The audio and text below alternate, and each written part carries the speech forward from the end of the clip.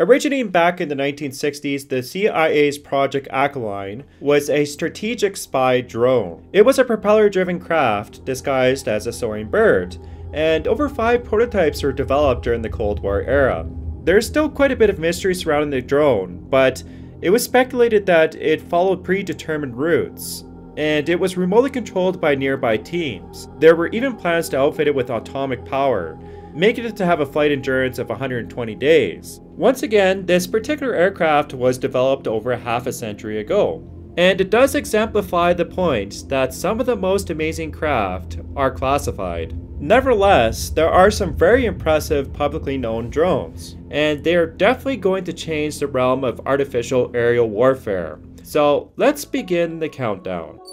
The N40 is definitely unique. The micro tactical system can be launched manually or from a standard 40mm grenade launcher. It incorporates RSTA capabilities, a day and night camera, along with automated tracking, but it can also be controlled with a tablet and a two joystick system. Weighing around 250 grams, it flies up to 40 minutes and then can be used for reconnaissance missions. Now, I don't expect these types of systems to carry weapons or anything like that, Nevertheless, these fast types of deployment drones are becoming more popular.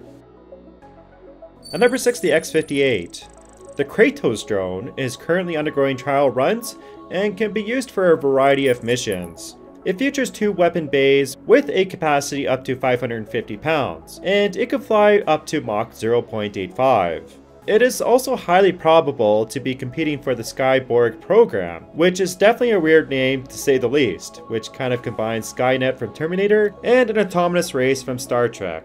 Anyways, this will be a race between multiple companies, demonstrating connectivity between multiple aircraft, kind of like one advanced swarm network. The initial intent is to provide human teammates key data to support rapid and informed decisions, and ultimately this will provide greater awareness and survivability. But personally, I think at one point we will see warfare which is completely autonomous, and only driven by human intent. Yet another possible contender for this program is the Loyal Wingman, otherwise known as the Boeing Air Power Teaming System, and it will provide a significant advantage for the Royal Australian Air Force. It will have a configurable payload, and this will allow it to perform surveillance, reconnaissance, style missions. The current prototype is apparently 38 feet long, and it will have a range of around 2,000 nautical miles. Once again, this is kind of intertwined with the Skyborg program, and Boeing expects to mass produce this particular craft in just a few years. At number 4, the S-70. One of Russia's biggest UAV projects, is commonly referred to the Hunter B, and it's expected to enter service in just a few years. It is highly speculated to have some designs borrowed from the RQ-170 vehicle, which could have been captured by the Iranians just a few years back, and it incorporates composite materials along with stealth coatings. But it is quite large with a weight of around 20 tons and a wingspan of 65 feet. It is powered by one very large turbofan, which has around 30,000 pounds of force. The drone can carry over 4,000 pounds of munition to a range of around 3,700 miles. It is very likely that the craft will be controlled by a nearby manned craft, but it's still just in the prototype phase for now. The next position is a very large drone with an 80 foot length and a 60 foot wingspan. And this particular one is very interesting because it's capable of launching satellites into low Earth orbit. With over a 1,000 pound payload capacity, commercial pricing will start around 4 to 8 million dollars. So it's definitely not affordable to everyone, but we are slowly getting there. Now, the Ravn X is not completely reusable just yet, but the company plans to change that, and it will provide more flexibility to military commanders along with more accessibility to space for commercial operations. At number 2, the RQ-180. Now, this particular UAV has been shrouded in a lot of mystery, and not much technical information has been released publicly as of yet.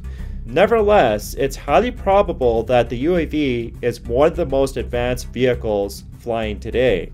It is believed to be roughly the size of the Global Hawk and have the same capabilities, such as a 24 hour flight time and a 14,000 mile range. Now, the craft should be fully stealth, and have the same capabilities as the B-2, so it should be able to perform intelligence, surveillance, and reconnaissance missions. So if you ever see a flying triangle in the sky, well, it might just be this particular craft. There are quite a few different projects being tackled on by multiple companies right now, and this includes the launch off from DARPA and even the Arrow from Kelly Aerospace. But I think one of the most fascinating UAVs being developed as of right now is the SR-72. Based on the development of hypersonic technology and projections from Lockheed Martin, it is highly probable that the first SR-72 is either very close to completion or it might even be flying right now. This particular craft will be the successor to the iconic SR-71 and it's a hypersonic UAV which can go up to Mach 6. Now, developing an engine for this type of vehicle is very challenging due to the dead zone gap between max turbojet speed at Mach 2.2 and lower scramjet speed at Mach 4.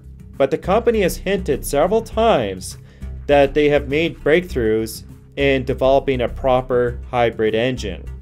Now, the HTV-2 project did provide some valuable data on this type of flying, but a fully reusable hypersonic UAV would be groundbreaking, and it's going to be really exciting to see if this craft really lives up to its name.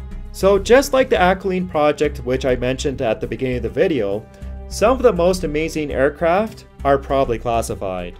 Nevertheless, some very amazing vehicles will be revealed to the public in the very near future. So once again, thanks for watching, please like the video if you enjoyed it, and also make sure to subscribe to my channel.